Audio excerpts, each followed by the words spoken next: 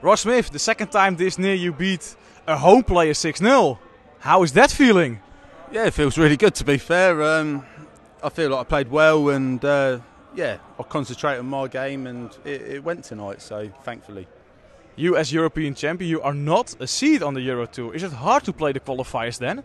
Yeah, it's very difficult. Um, everyone knows how how, uh, how good the PDC is with um, the players that are in it, the players in depth. Um, so yeah, you know, to I think I've qualified for, I think it's eight out, I think it's eight out of ten so far this year. So I'm uh, I'll take that all day long. It's it's it's difficult.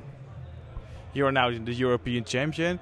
Is there something changed after that title? More pressure on your shoulders? Uh, no, to be fair, um, I sort of. Uh, you know, embrace it, and uh, I'm, I'm enjoying it. I enjoy every moment. There's no pressure. At the end of the day, I've got to go up there and look. You only live once, don't you? You live once. Go and enjoy it. So it might not happen again. Go and enjoy myself. Is that the strength of you? Pardon? Is that the strength of you? Yeah, yeah, I think so. I think so. Yeah, it's going all right. George, thank you. Good luck tomorrow. Thank you.